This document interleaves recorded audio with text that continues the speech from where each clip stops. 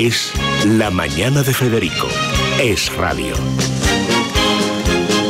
Bien, vamos ya enseguida con las noticias fundamentales que vamos a comentar en la tertulia con, con Dieter Brandau, con Gabriel Albiá, con Alejandro Vara, muchos asuntos de mucha actualidad, pero antes lo primero siempre el tiempo.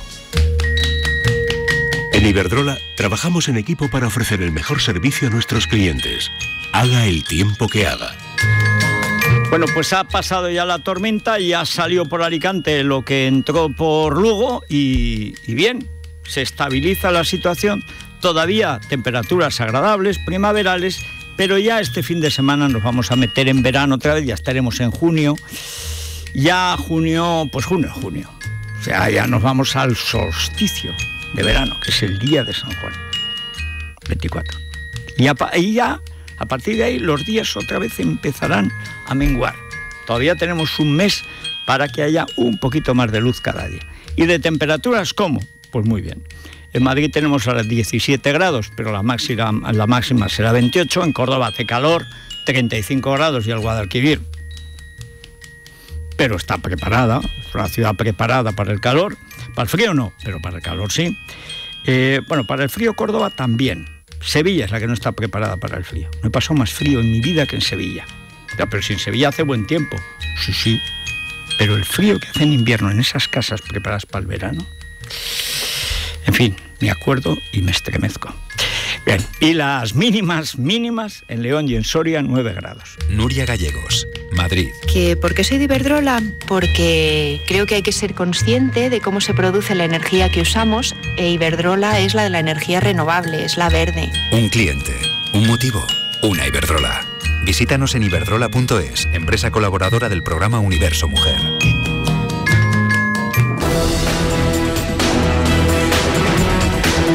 Bien, vamos con Javier López Tofillo y Vanessa Vallecillo. Primero con el asunto fundamental, eh, la foto de Mariano en el banquillo.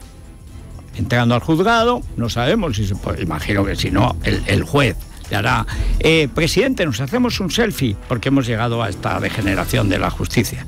O sea, los jueces posando con el esto y haciendo así. Es que vamos camino de eso. O sea, el desprestigio de la justicia es tal que aquí ya aquí ya vale cualquier cosa. O sea, los mismos jueces que permiten declarar por videoconferencia para no menoscabar su prestigio, no lesionar su acrisolada imagen pública, al golpista y ladrón Artur Mas y al, al, bueno, no sé cómo llamar al de la beca Black, a Rejón. En otro tiempo lo llamaron ladronazo, porque cobrar una beca de investigación por no investigar, porque te la dado un amigo al que hacer diputado, eso sí, también iba a trincar antes a Venezuela y a Bolivia. Han robado a todos los pobres. Y, ir a cobrarla, es decir, la beca de investigación consistía en investigar qué día cobraba. O sea, a ver si eso no es robar, que venga Dios y lo vea. Bueno, Dios no mientras esté este Papa. Estaría a favor. Pero lo fundamental, ¿cómo es posible que haya aquí dos varas de medio?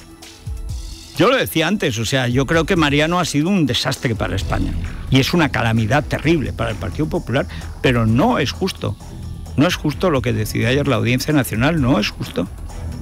Tiene que haber una vara de medir, la que sea, pero una. Lo que no puede ser es que según esté el político de fuerte o de blandito, pues eh, lo llamen a declarar, a hacerse la foto de, del estigma, es decir, la pena de telediario, y a otros no. Porque claro, no es lo mismo, no queda igual en la televisión, la muchedumbre insultando, tirándole huevos y tal, ladrón, tal, canalla, asesino, estas cosas, no es lo mismo que por plasma sacar en el plasma de la tele el plasmatón de, del fotomatón. No es lo mismo. Y eso lo saben perfectamente sus señorías. Y sus señorías, los dos, dos contra uno, tampoco crean ustedes, pero es que así son las cosas en España en la justicia. O sea, dos que dicen que va a declarar como ciudadano, no como presidente del gobierno. O sea, que cuando entre en el juzgado, Mariano Rajoy ya no es Rajoy, es solo Mariano. E imagino que el presidente de la sala se hace cargo de las funciones de presidente del gobierno. Y si mientras declara atacan los moros, pues entonces la decisión de bombardear Rabat la tomará el señor presidente de la sala, porque ya no hay presidente del gobierno. No, está declarando un señor Hoy Soraya, en ya lo que es el acelerón del golpe suyo, la Shisina One, a través de Cebrián, ya en el editorial elogia la dureza de los jueces. Dice, naturalmente, como un ciudadano español, ah, y cuando era Polanco, no pararon hasta echar al juez. Y cuando era Felipe González, luego irán ahora Margarita Robles, diciendo, es normal, ¿cómo va a ser normal? El presidente del gobierno, Felipe González, cuando tenía que declarar por el GAL 27 muertos. Y antes saqueando los fondos reservados de interior para pagar a los policías que mataban a los etarras. Y a otros que no eran etarras y al final otros que no eran ni cerca de etarras para seguir cobrando. Porque empezaron robando para matar y terminaron matando para robar. Esa es la historia real del GAL. Pues a Felipe González, vamos, cuando por fin el Supremo dijo que declarase prohibidos los fotógrafos. Prohibidos. Que la foto de Felipe en el banquillo nunca, y de hecho no hay foto de Felipe en el banquillo. Hay una foto que sacó el fotógrafo del mundo, Quintela, mediante una cámara camuflada que engañó a los a los que el arco metálico, los que pasan el es que no eran los arcos entonces como ahora, era otro sistema, pero en fin, para hacernos una idea, pues los engañó. Bien. Y sacó una foto, pero como si en una caja de cerillas hace la foto, ya está. Entonces se podía fumar. Pero la foto de Felipe en el banquillo no existe. No existe. Es verdad que existe una foto mucho más siniestra, que es todo el PSOE acompañando a la cárcel a Barrio Nuevo y Vera y Felipe dándole una palmada a Barrio Nuevo en el hombro y lo mete en la cárcel mientras él se va a Guanajuato. Y todos los del PSOE jugando al corro de la patata, pero al corro, o sea, en torno a la cárcel de Guadalajara. Y este partido es el que dice que qué corrupción, pero por los clavos de Cristo, pero se han robado más que el que inventó el hurto. Pero si repito, si lo del GAL fue empezar robando para matar y acabaron los policías matando para robar le pregunten a la viuda de García Goena, que es que los que no sabemos la historia nos la sabemos. ¿Cómo que a Rajoy como a cualquier persona? Mentira, mentira, no es verdad, no es verdad. La prueba es que a Rejón le dejan declarar por videoconferencia y a Artur Mas también, y a la Vescansa y el Bebito también. O sea, dejan declarar por videoconferencia a quien les pasa por los dídimos, es decir, a quien los puede ascender. Y ahora ha llegado el momento de pasar la factura a Mariano. El problema es que no hay un juez al que podamos pedir justicia, porque todos los jueces están corrompidos, porque todos están politizados. El Consejo del Poder Judicial, el gobierno de los jueces, es al que ahora cualquiera, por supuesto Mariano Rajoy Brey, pero cualquiera podría decirlo, oiga usted, la vara de medir para todos igual, la que sea, pero para todos igual, ¿eh? Pero ¿a quién se lo van a pedir? Si lo último que hizo Mariano Rajoy fue apañar con el PSOE y con Izquierda Unida, hoy en Podemos, repartirse todos los miembros del Consejo del Poder Judicial, de manera que el gobierno de los jueces, todos los miembros del gobierno de los jueces, todos, son de un partido político. Todos. Hay separatistas, comunistas, socialistas y blandiblus, que son los del PP. Pero todos dependen de un partido. ¿Cuál es el efecto? Porque no hay justicia independiente. Vamos, ni y si no hay independiente no hay justicia. ¿A quién le va a pedir justicia a Mariano si se la acabó de cargar él? Es verdad que él acabó de cargársela, pero en lugar de hacer lo que prometió en la sesión de investidura, lo que dijo otro farsante redomado, que ese sí que debería estar, no en el banquillo, en Soto del Real, pero en fin, ya llegará, vamos a acabar con el obsceno espectáculo de los políticos que nombran a los jueces que pueden juzgar a esos políticos, que eso es exactamente de lo que se trata. Pues que no lo hizo, hizo justo lo contrario. A los ocho meses cambió de opinión, por no sé qué lío tenían, yo qué sé, estas historias de Mariano que no hay quien las entienda. La cuestión de fondo es que no quieren jueces independientes. Pues mira, ahora los tienes dependientes de Podemos. Esto es lo que has ganado, Mariano. Ha sido engordar para morir. Y hoy ya abiertamente Soraya en el país ya por Mariano. Muy bien, muy bien, dale. Como no la eche rápido, está lo decapita, pero vamos, in situ. este no vuelve a la Moncloa después de declarar. Va a tener un accidente o un mareo o algo. O sea, porque esto ya es la lucha por el poder de las asesinas, por la herencia de Rajoy, se va a acelerar de una manera tremenda. Cuando la gente empiece a captar que este es el primer paso para la imputación, las antenas se empezarán a vibrar. Que hay de lo mío, de lo mío que hay, o sea, yo podría ser, pues anda que yo, o sea, esto está inventado. En fin, vamos con el detalle. Ya digo, me parece repugnante. O sea, mm, Mariano Rajoy yo creo que estaría bien en su casa.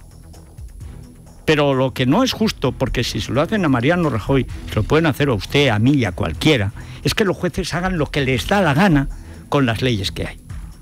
O sea, los jueces no hacen lo que dicta la ley, hacen lo que les parece en cada momento, hacen lo que les da la gana. Y además lo hacen jueces especiales en la Audiencia Nacional. No voy a repetir mi dictamen sobre la Audiencia Nacional de hace muchos años. Lanzallamas, sí, lo repito, lanzallamas, total, cal y comedor de caritas. Ni uno allí, ni uno. Igual que la UCO, que la Fiscalía Anticorrupción, que todos los tribunales especiales. Aquí, el juez ordinario, el fiscal normal, la policía normal, la Guardia Civil a lo suyo, nada de operaciones especiales. Y si no, vamos a esto. Hoy lincharán a Mariano. Mañana lincharán a cualquiera. Mañana le tocará a Rivera. Al final, ¿esto a quién favorece? A la gentuza sin escrúpulos. ¿Esto a favor de quién va? A favor de Podemos. Que es el monstruo que ha creado Mariano, igual que la justicia dependiente, que ahora se vuelve contra él. Pero en fin, vamos al detalle que luego en la tertulia tendremos ocasión de entrar en algunos aspectos especialmente siniestros ¿eh? con la prensa de hoy. Repito, el editorial del país de hoy contra Rajoy es como para que Rajoy se mire al espejo y dice, pero ¿qué monstruo he creado yo? Monstrua. Un poquito tarde, Mariano. La audiencia, perdón, la Audiencia Nacional rechaza que Mariano Rajoy comparezca como testigo en el caso Gürtel a través de videoconferencia y le cita en los juzgados el próximo 26 de julio. El presidente de la sala, Ángel Hurtado, emitía un voto particular, mientras que los otros dos magistrados que componen la sala recuerdan en el auto que Rajoy no comparecerá como presidente, sino como ciudadano español. Rajoy en Portugal le restaba importancia a esta noticia, pero el PP protesta recordando que Rejón no descansa, declararon por videoconferencia. Escuchamos a Rajoy, al popular Rafael Hernando, la socialista Margarita Robles y José Manuel Villegas de Ciudadanos. Le diré lo mismo que llevo diciendo desde que ese acontecimiento se ha iniciado, que yo estoy a lo que disponga eh, los tribunales. Mi criterio es que esta comparecencia es absolutamente innecesaria, que no tiene nada que aportar y que es improcedente. Parece una decisión absolutamente ajustada a derecho, dentro de la normalidad.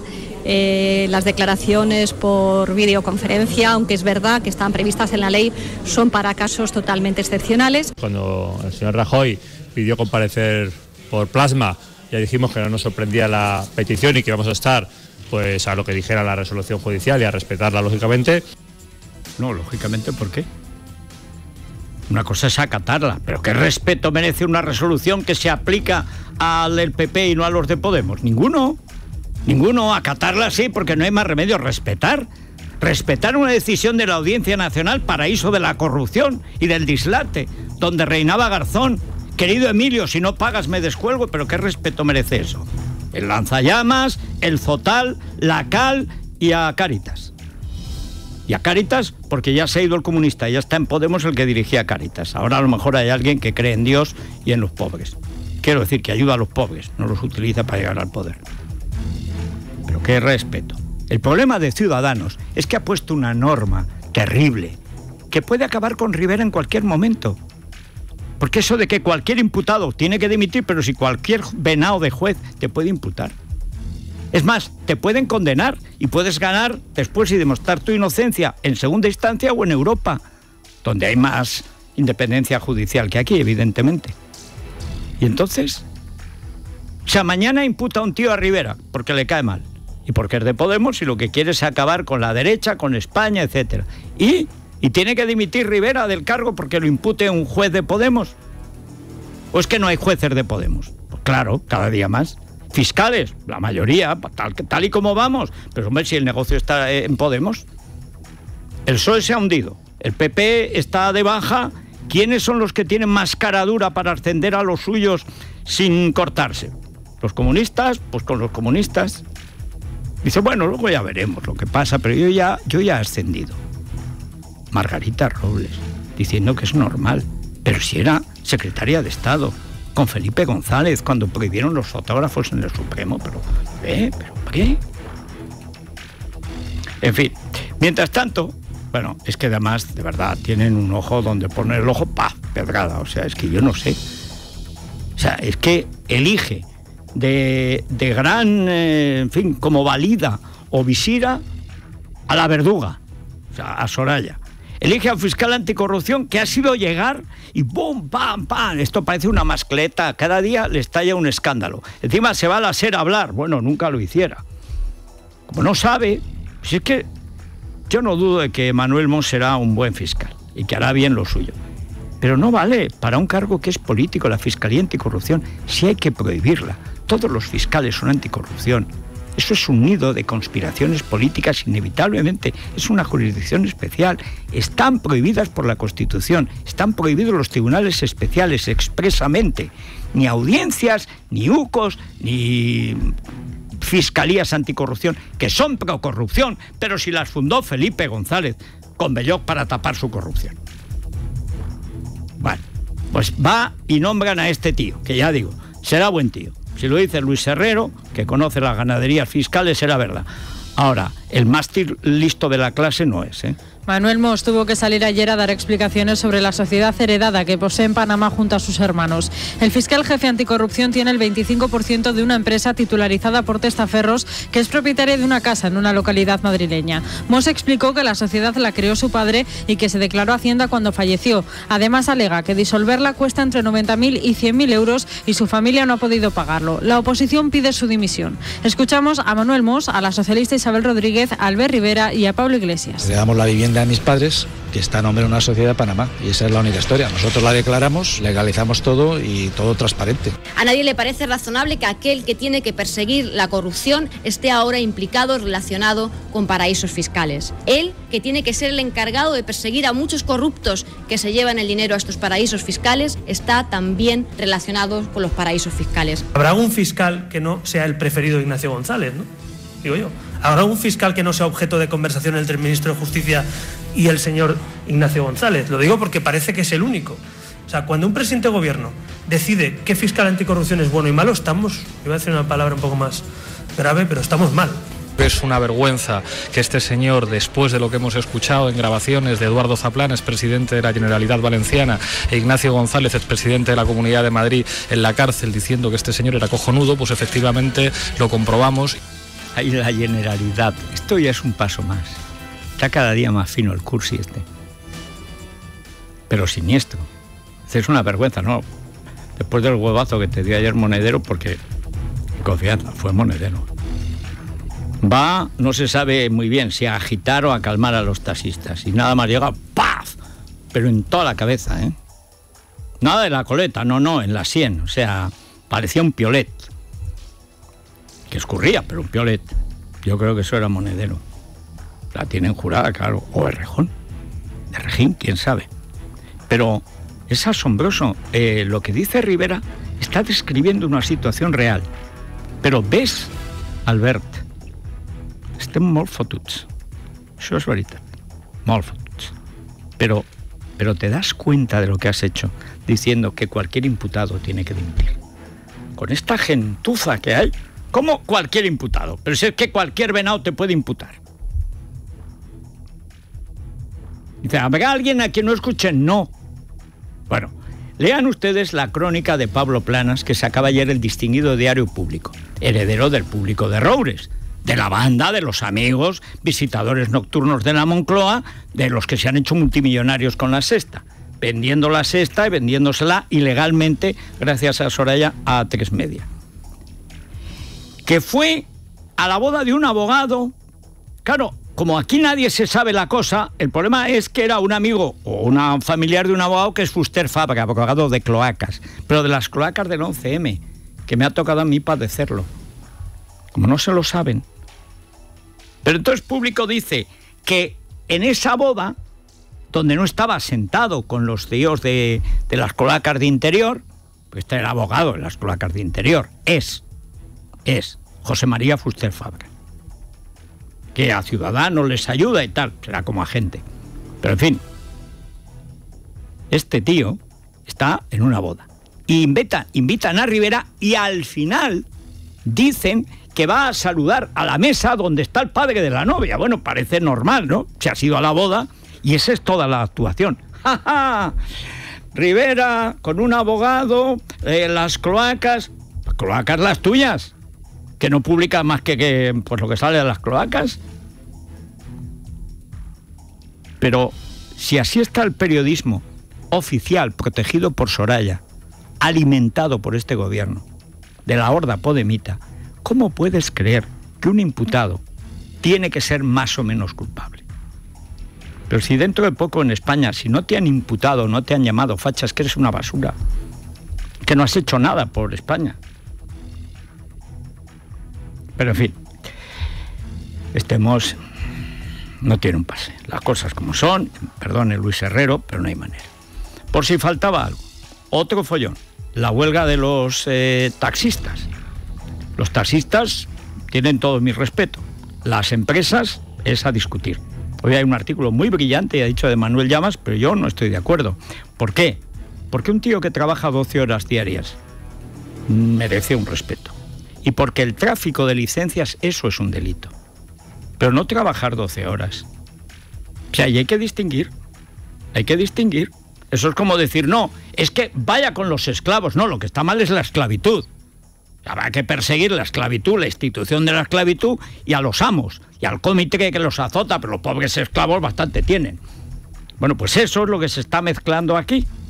Entonces nosotros sí defendemos la libertad de comercio. Lo que no defendemos es la chapuza que es en la que vivimos ahora.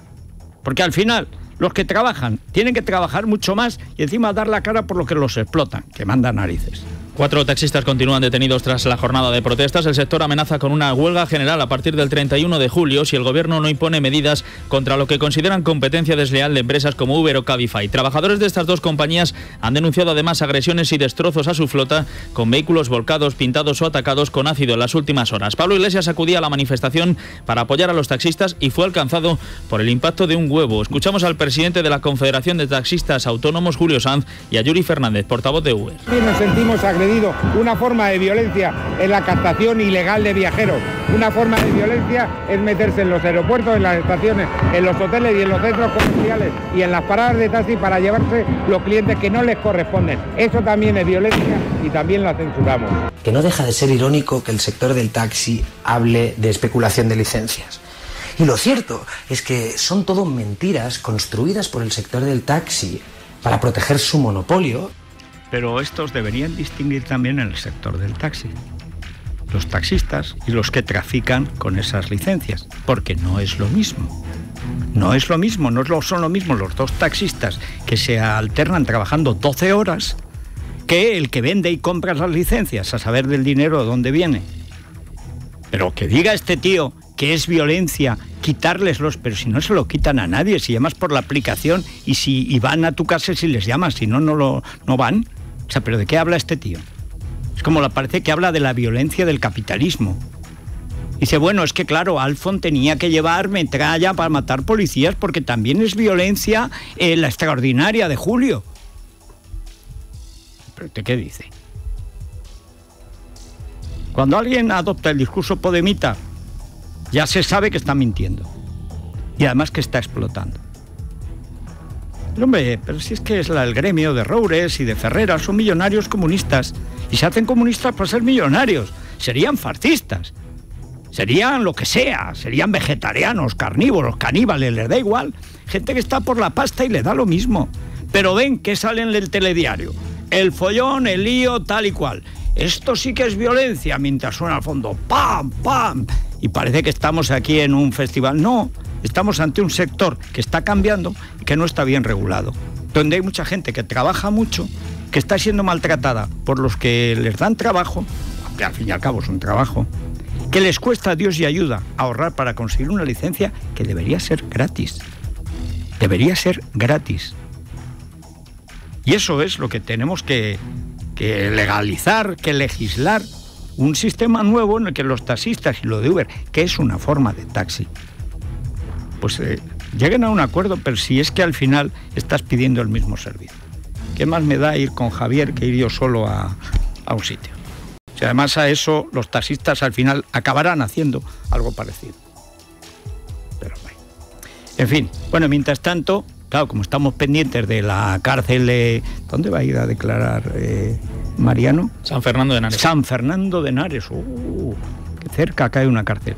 Bueno, pues como estamos pendientes de la foto de San Fernando, mientras Cocomocho ya parece que tiene fecha para el referéndum para acabar con España, claro. El presidente de la Generalidad, Carles Puigdemont, podría fijar la fecha de la pregunta del referéndum el próximo miércoles 7 de junio tras un Consejo de Gobierno extraordinario. El Ejecutivo catalán ya ha convocado para el día anterior, el martes 6 de junio, la reunión del llamado Pacto Nacional por el Referéndum, tal y como exigen los comunes de Ada Colau. Neus Munté es la portavoz de la Generalidad. La voluntad del Gobierno. La voluntad del Gobierno para configurar esta decisión el anuncio de la fecha y la pregunta es la de escuchar con todo interés a todo el mundo y es evidente que el Pacto Nacional por el Referéndum ha tenido y tiene un papel muy importante al respecto. Ha tingut i té un paper molt important al respecte. Bien, luego contaremos por qué esta era de la UGT. De la UGT, Unión General de Trabajadores, es decir, Unión Particular contra los Trabajadores de España. Porque estos son los separatistas de Cataluña. O sea, es que hay que echarle. Pero bueno, antes de ir a lo que ayer fue un día, ayer era el día el que se demostró la corrupción total del sindicalismo español. No de todo, pero de la inmensa mayoría. La USO no, la USO es la única organización sindical que no tiene liberados. Y la CESIF no sé cómo es, pero comisiones y UGT lo sabemos muy bien, son los que trincan de todas partes.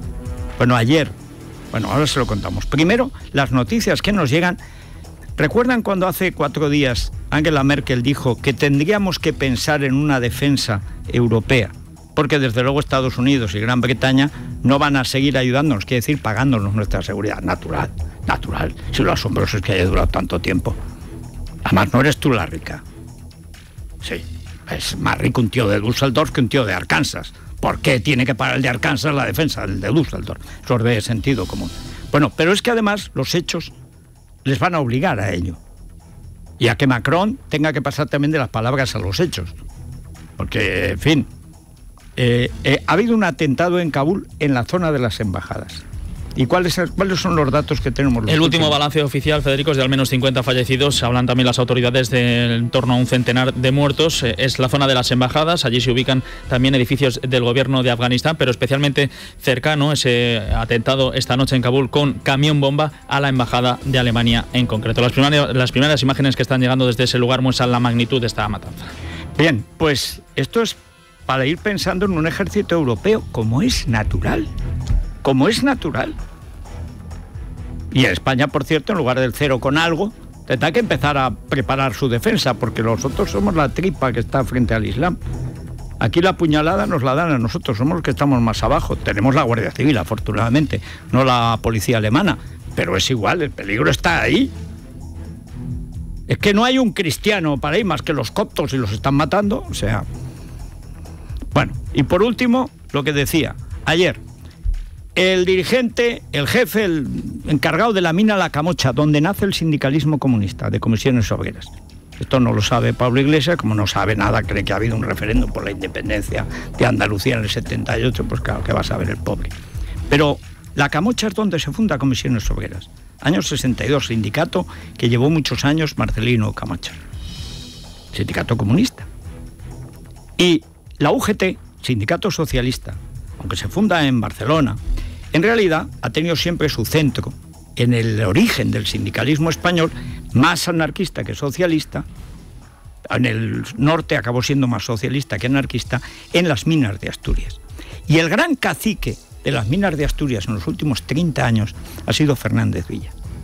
Bueno, pues ayer gran operación contra la corrupción sindical, que los sindicatos están en todas las cajas de ahorros, que son los que se lo han llevado crudo, que han robado tanto como los partidos políticos o más. Y estos no eran para el partido, estos lo llevaban ellos. Pero es que el comunista, el de la camocha, que no sé ahora si son comunistas o yo qué sé qué serán, son sacamantecas. Pero tan sacamantecas que importaban ilegalmente carbón, creo que africano, no está clara la procedencia, para cobrarlo como si fuera español por los subsidios de la Unión Europea. estafa notable. El Fernández Villa directamente se lo metía en el bolsillo. Se presentó un día que estaría un poco, no sé, a lo mejor de resaca o tal, se presenta eh, en metálico con un millón y medio de euros, claro. En el banco dijeron, uy, esto es muy raro, este ha atacado otro banco o algo. Lo denunciaron, todo dinero negro, no hay por dónde cogerlos. La UCO registra el domicilio del ex líder sindical minero de UGT Asturias, José Ángel Fernández Villa. La llamada Operación Ulla se ha saldado con cuatro detenidos, entre ellos el exdirector del Montepío de Minería y también sindicalista José Antonio Postigo. La Guardia Civil sospecha que desviaron miles de euros de este geriátrico para mineros. La abogada de Villa salía del domicilio de su cliente y ladraba a los periodistas. ¡Guau, guau, guau, guau, guau! No voy a decir nada. Las actuaciones son secretas y cualquier persona que diga algo de este asunto comete un delito. ¿Entendido? Ir a las fuentes que os están filtrando todo, que cometan el delito ellos. Yo no. Bueno, el delito gramatical lo ha cometido, se dice id, no ir. Id. Y en cuanto al delito, miau. Delito es el que cometes amenazando los medios de comunicación por desvelar el delito. Pero si es que ya los títulos de abogado, yo, para mí que los venden en el rastro, los da Pablo Iglesias, en los, los, estas cosas de verano, en las manis, o no sé muy bien dónde dan los títulos. En fin, Iberia. Iberia Federico que estrena nueva clase, es la turista premium, una clase intermedia entre business y turista, asientos más anchos, más espacio entre filas, también una mayor eh, comodidad en el equipaje también a la hora de embarcar y si queremos viajar en turista con un plus de comodidad, pues esta sin duda es nuestra clase. Sí, señor. Y además te tratan muy bien. En español te entienden perfectamente, oye, que es un alivio. ¿eh? Un avión de Iberia es como estar en casa. Pues sí, señor. ¿Y cómo participan nuestros seguidores en la tertulia, Vanessa? Les recordamos nuestro contestador 91 409 0503 y nuestra cuenta de Twitter arroba es la manana de FJL. Vamos ya. Es la mañana de Federico, con Federico Jiménez Los Santos.